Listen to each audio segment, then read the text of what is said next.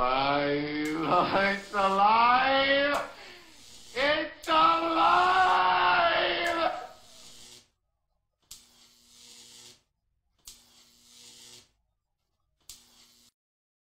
Hello, I'm Artifacts Mars with a Mad Science update for today. Ordinarily, this would not get a Mad Science update, but uh,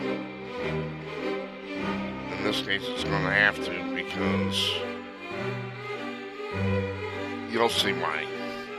Many ice age that will freeze major rivers could hit Britain in less than two decades according to research from universities in the UK and Russia mathematical model of sun's magnetic activity suggests temperatures could start dropping here from 2021 with potential for winter skating on the River Thames by 2030.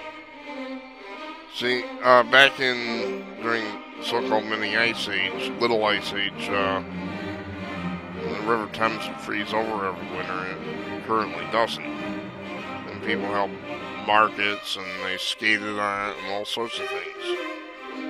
Team led by math professor Valentina Sharkov at Northumbria University built on work from Moscow to predict movements of two magnetic waves produced by the sun.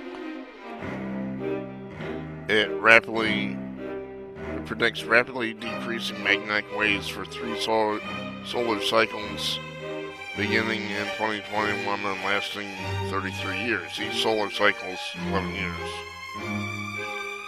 Very low magnetic activity on the Sun corresponds with historically documented cold periods on Earth. The Sun's output is dropping, basically, so it's going to get colder. And that's what this is saying. Professor Zharkov, Zharkova claims 97% accuracy for the model, which dovetails with previous many ice ages, including the Maunder minimum period from 1645 1715 when frost fairs were held on the frozen Thames. But she, and here's where the math science part of this comes in. She cautions that her mathematical research cannot be used as proof that there will be many ice age around that time not least because of global warming. Unbelievable.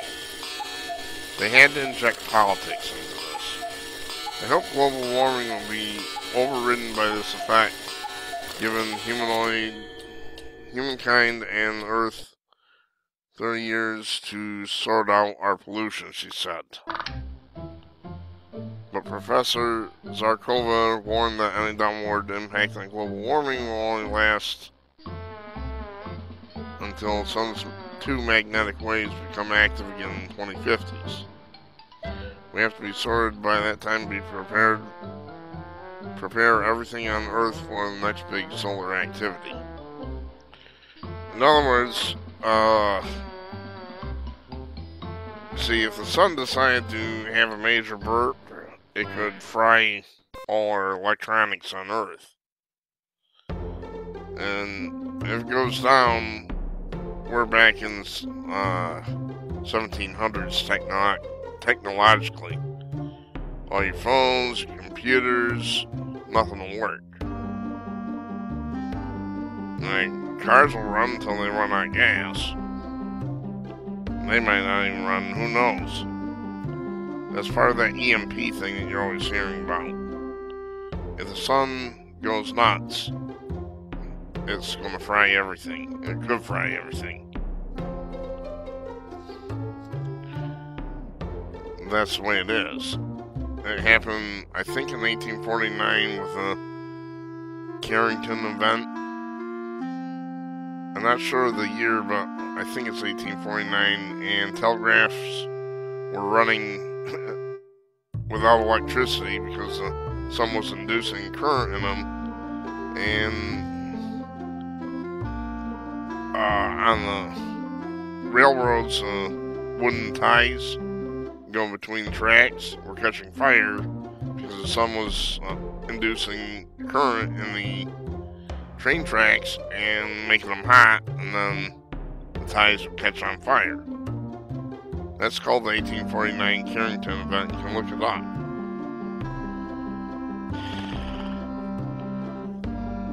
Gonna be a rough ride. Uh,